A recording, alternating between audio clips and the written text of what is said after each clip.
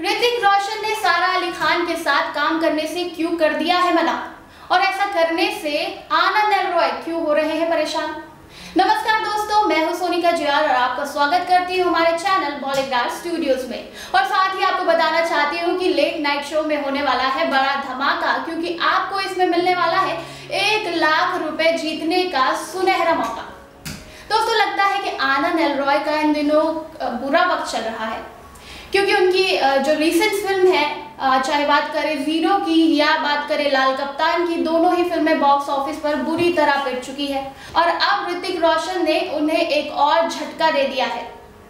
और ये झटका ये है कि उन्होंने आनंद एल रॉय की अपकमिंग फ़िल्म से बैकआउट कर दिया है। दोस्तों, आपको बता दें, आनंद एल रॉय की अगली फ़िल्म में उन्होंने सारा अली खान, साउथ के सुपरस्टार धनुष और ऋतिक रोशन को साइन किया था। लेकिन ऋतिक रोशन ने इस फ़िल्म से बैकआउट कर दिया है।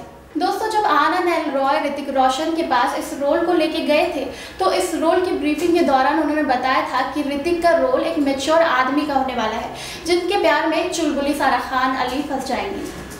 तो ऋतिक को उस वक्त ये रोल काफ़ी पसंद आया था, उन्होंने हामी भर दी थी, लेकिन अब जाके ऋतिक ने इस रोल को करने से मना कर दिया है।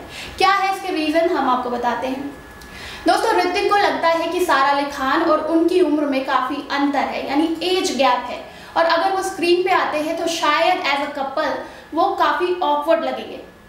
आनंद एलरॉय ने काफ़ी कन्विंस करने की भी ऋतिक को कोशिश की, लेकिन ऋतिक ने साफ़ मना कर दिया। दूसरा कारण ये है दोस्तों कि ऋतिक अब एक्शन फ़िल्में करना चाहते हैं। हाल ही में रिलीज़ हुई उनकी वॉर ने धमाका मचा दिया था। और अपकमिंग जो ऋतिक की फ़िल्म आ रही है, वो भी एक्शन फ़िल्म होने वाली है। वर्क फ्रेंड की बात करें तो ऋतिक क्रिश फोर के साथ 2020 में नज़र आएँगे और उसके साथ ही वो फराह खान और रोहित शेट्टी की फ़िल्म सत्ते की सत्ता के रीमेक में नज़र आएँगे। दोस्तों, अब बात करते हैं सारा अली खान की।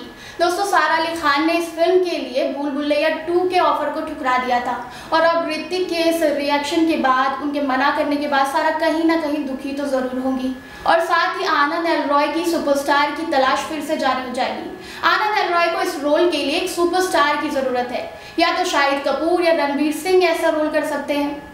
अब देखना ये हो अब देखना ये होगा कि क्या आनंद एल रॉय इस रोल के लिए शाहिद या रणवीर सिंह को अप्रोच करेंगे।